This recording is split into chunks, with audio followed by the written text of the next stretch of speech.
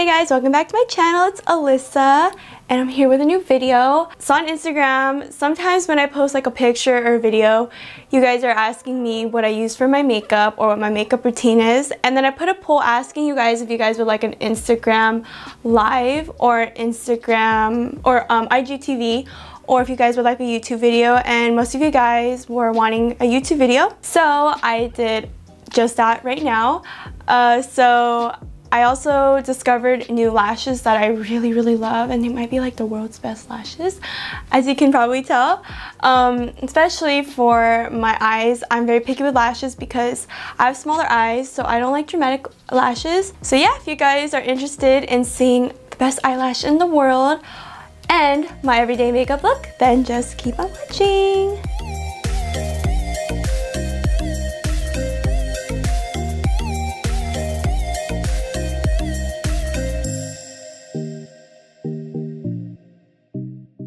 Okay, so I've done my eyebrows and I did one of my eyes so then I could just continue after that. And I also put foundation. So the foundation that I used was L'Oreal Infallible 24 hour fresh wear. The places I put it, I just put it right here and like just the top strip of my forehead. I don't put it in my T-zone area or under my eyes because I don't want it to be too cakey or too much in that area, especially since I get oily. So I like to keep it a little bit clearer there. So yeah, I'm to start with the other eye and I'm to show you guys what I use. So I use the Milani eyeshadow primer. I've been using this for years. It has never failed me. It's really good for the price. So I'm just gonna go ahead and put this on my eyelid and then I just spread it out with my finger. Next, I take the Morphe 12P palette and I just use, as you can probably tell, I just used a white color to um, put on my lid. So the only places I actually put it on, I put it like right here on the arch of my brow. So I put it, I concentrate it right here and then I drag it back and then drag it forward so that it's mostly white up there. And then I put it in the corner and then I kind of spread it out all over my eyelid except the most bottom lower part of my eyelid because I usually just put eyelash glue there and then I, like, I kind of fold my eyelid over my eyelash line so there's no point in me putting excess powder there. Next thing I use is the Too Faced Natural Eyes. I really like their older palette better because the one color that doesn't match exactly is the color Strip Poker. And then in the old palette, the color was called Nudie and that one was a little bit darker which I liked. This one's a bit brighter so I'm still making it work but yeah I preferably like the nudie color better. So I'm going to start off with the color Strip Poker and then I'm going to put this all over my crease and then blend it. So I'm going to start in the corner right here in the outer corner and then just blend it around. And I hate that it's so light, but it's all good. And then I'm to go into my inner corner right here and try to blend it right there. And then I go to the center and I do the same thing. And I just go swish back and forth and then move my brush up and down as I go back and forth to try to get it to blend. And that's all I really do with this color. So the next color I grab is Cashmere Bunny. And I'm going to do essentially the same thing. I'm still going to go ahead and start in this corner and then blend it up a little bit. As I go to different positions of my eyelid, I do get a little bit more eyeshadow. So I'm to go ahead and start in this inner corner right here and then blend and then the middle and then I blend up and down as I switch back and forth. And then I get a little bit more and I try to concentrate it more into the crease. Sometimes if I feel like it's a little bit too dark, I take a different eyeshadow brush and I just blend it more as much as I can. There's no specific motion or where I blend. I just look at where I feel like it looks too strong and I just go ahead and take my brush and run it over that. Okay, next I take the color Sexpress Sex Sexpresso. I'm gonna go into the outer corner and I'm gonna try to um, just concentrate it on the outer corner and then bring it in just one third of the way and then circular blend it. And then I'm gonna get some more shadow and do the exact same thing so I have a more darker color on the outer corner and then just blend it one third of the way. I try to keep it more low onto the lash line. So that's it for the eyeshadow portion. I'm going to grab my concealer and this is the Tarte. I always say tape shape, but it's Tarte Shape Tape Concealer. I have not changed concealer in so long. This is my favorite. Um, I've yet to try the Jeffree Star one, but so far I really like this one. I'm gonna tell you literally my routine because it's so weird. So I only open it up like this and then there's always like this, I don't know if you can see, let me see. There's always like some concealer inside and I just grab that part with this concealer brush and then I kind of clean it up and make it look more like a winged eyeshadow. So I'm going to do this side too because I haven't done this side. And then I bring it all the way up to my temple. It just gives you a more wide awake look. And then I always have like darkness right here. So I'm to grab a little bit more concealer and just dab it right there. Because sometimes my beauty blender doesn't like, I don't know. I feel like I get too scared putting in certain places and it doesn't cover it enough. So I'm just to do that with this brush right here. Just cover that dark area. Then I'm to fully pull it out. That's what she said. And then I'm going to put it under my eye right here on the other side on my forehead and on my chin. Then I'm to get the Real Technique sponge and I'm just to blend the concealer in. I have like some acne scars right here so I kind of go over it a little bit, not too much because I don't want this whole thing to be white. Just want to cover it a little bit. And then I'm to start right here in the corner near my nose and put it right here around my nose because I tend to get a little bit red there. And then I bring it up all the way to the temple and I blend out that concealer line that I had and I try to make sure I blend all of this as much as possible with my sponge and then look up and then blend everything. Next, I'm to take my RCMA No Color Powder until I have some powder at the edge and that's the powder that I'm going to use for my face. So I'm just going to blend out those creases that I probably got and then get the powder that I have right here and I'm to go ahead and put that everywhere that I put concealer. And I'll also put it on all of my nose. So yeah, and then I'm gonna check if I have any excess powder on my face. I'm gonna get a powder brush and I'm just gonna wipe over it just so I take out any powder that could be excess on the face. Next, I'm gonna take the powder again and I'm gonna put it on the rest of my face except the part where I'm gonna put powder contour on. So I'm gonna get some more powder and I'm gonna make a line right here all the way down to the corner of my mouth. And then I cover the rest on the bottom right here. Same thing on the other side from the place where I won't, uh, I put powder on the place that I don't put contour on all the way down to my lip and then on the bottom. And I put it on my upper lip and my bottom. So since I have powder over my face, I'm gonna go ahead and go back into my eyeshadow palette. So I'm gonna go ahead and use this under eye brush and I'm gonna grab the color Sexpresso and I'm gonna put this on my lower lash line. I'm gonna put it tightly as I can and a little bit dark. I mean, it doesn't have to be super tight because then we're gonna blend it out later with another color. But yeah, we're gonna go ahead and put it on the lower lash line. And then I'm gonna take the color Strip Poker and I'm gonna go ahead and blend this Espresso color because it is a little bit harsh. And I'm gonna do that to both. And if you use that color and it diluted the color, just get a little bit more of espresso and then just add a little bit more and then just blend it out. Like if you keep switching back and forth like this, it usually will eventually blend out. Next, we're gonna take the Kevyn Aucoin. I'm sorry if all these are dirty. They're literally in a makeup bag, so they probably get dirty. But I'm gonna take the Kevyn Aucoin Medium Sculpting Powder and I'm gonna get my contour brush that is obviously dirty from all the contour powder. I'm gonna go ahead and grab this. And then, you know the parts where I didn't put powder?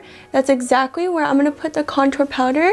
And I noticed, the reason why I do this is because it helps it stay longer because the powder is clinging on to the foundation, which is like a liquid, so it stays longer on days where I actually do stuff, like if I go um, to a family party or something, then I will use cream contour. But, you know, if it's like me just going out getting lunch or something, I'll just do this. So after that, I'm gonna go ahead and bring it down here to my jawline because I noticed that my face is more wide down here too, or like not wide, but it's more squarish or whatever.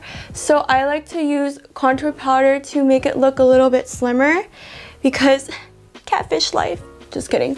Um, and then yeah, we're just gonna use that to blend out down here. Then grab my foundation brush and just kind of make sure it's all blended. And I'm gonna use this to kind of contour my nose. I don't I try not to go harsh, but sometimes there's days where I accidentally have a super strong harsh line, but I try not to.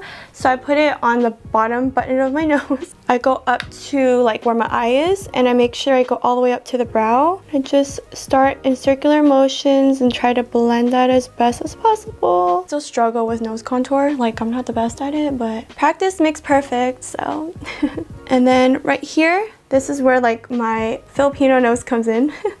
which I still love, but um, yeah, I'm still gonna contour that. So I'm gonna go ahead and go on the side of it to make it appear slimmer. So next step, I take the Anastasia Beverly Hills Amrezy highlight and I like to apply this right above the arch of my eyebrow right here. And then I bring it down around the temple right here, just like that, in like a almost like a C motion. And then I put it right on the high points of my cheeks right here. And I don't put it right here. I used to put my highlight right on the apples of my cheeks.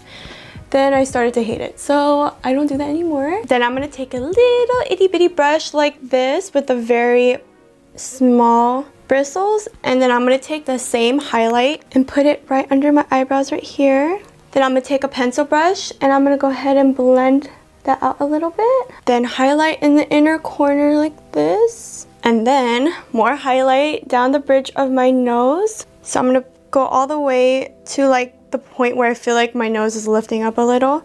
And I just stop there. And then after that, I put some on the tip of my nose. Next step, I'm gonna do more contouring. So I'm gonna get my contour brush. So I use contour 1, 2, and 3. As you can tell, they're all circle. So I just grab every single color and I apply this on my forehead right here on the top.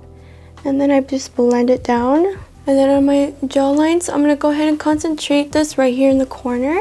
And then go right here along the jawline. And then bring it down a little bit, just like to the bottom part, so that your double chin's not really there. Get my powder brush, and I just blend it right here.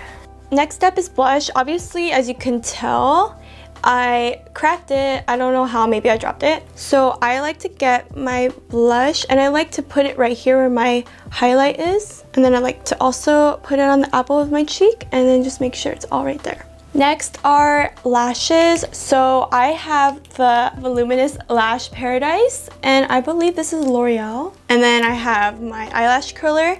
But because I use lashes, I just curl mainly the inner corner. So this inner corner of my eye. And the reason why I do this is because my lash only goes about like right here.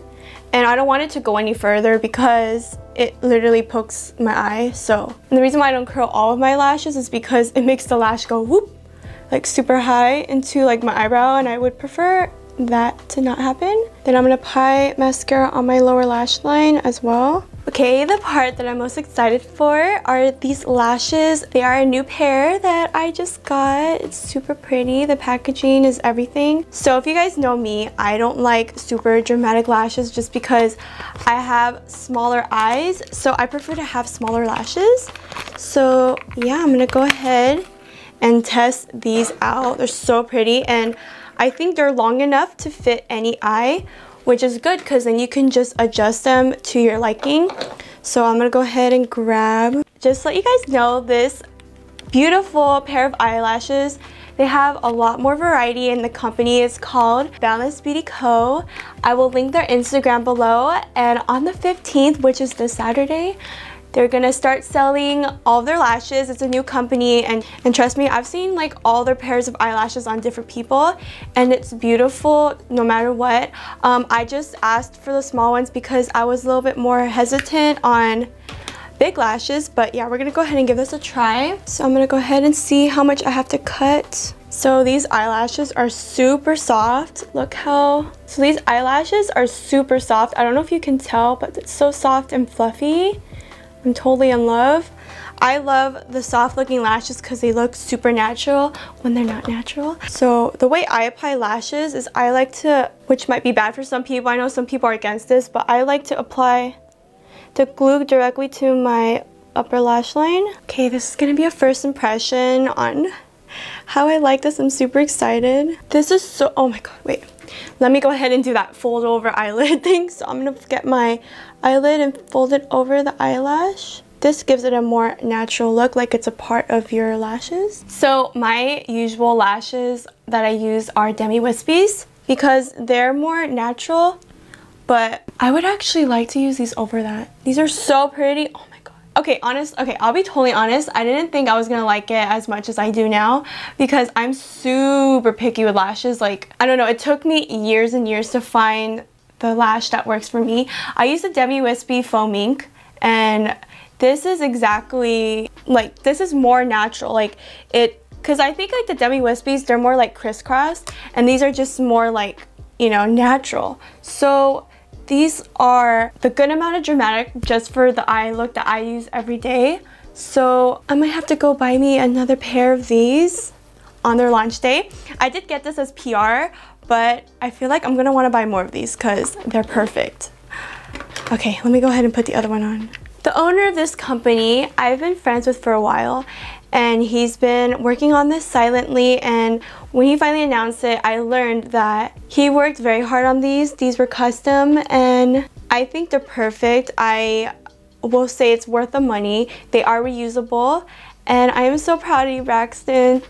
Thank you so much for creating beautiful lashes that everyone will love. I will actually be willing to try longer ones from this company just because it looks so pretty. And I will use dramatic ones for certain makeup looks but yeah if I want a more dramatic lash for a more dramatic look I will go and buy some from Boundless Beauty. I don't care that I'm on the PR list like I will buy more of these. And I'm not just saying that because he's my friend. I genuinely think these lashes are so beautiful. I am not used to liking a new lash after the ones I use normally. So I just want to say congratulations Braxton. You've done amazing. So next are my lips. I'm gonna, I used a dose of color um, lipstick in the color Truffle. This is the old version as you can probably tell, which is really bad, but I don't want to waste my product. I did buy a new version of it, so when this runs out, I'm going to use that one. And then I have the NYX Soft Cream Lip Cream in the color Cairo. So first, I'm going to take the Dose of Color lip. I tried to buy lip liner from them, but they're always sold out of it, so I'm just using the lipstick. So I'm going to go ahead and apply this on the bottom lip. And then I'm going to kind of line my lips with the tip of this. I'm to overline it a little bit under. And I'm also to overline a little bit on the top lip. So after the dose of color lip, I'm to grab the Cairo one. I'm just to put it on the center like this. I'm to put it in the center on the top and bottom part of my lip. And I'm to go ahead and blend it with like this. And then sometimes there's like harsh lines on top, so I just get my finger and I blend that a little bit. Then we're gonna finish off with a facial mist. I actually got this from Trader Joe's. It works so well. So I go ahead and shake it and I give myself a spray. So yeah guys, this is all for my makeup. I hope you guys enjoyed this video. I know you guys, some of you guys have been asking, so I finally went around to doing it. I have done my everyday makeup in other videos, but this is my current. Um, they tend to change little by little over time. So yeah, Thank you guys for watching. I will leave the information about the beautiful lashes in the description box if you guys are interested. And my social media is all right here. Since I have so many, I'm just gonna like make a list right here. And it's usually at the end of the video anyways. I hope you guys enjoyed this video and I'll see you guys in my next video. Bye!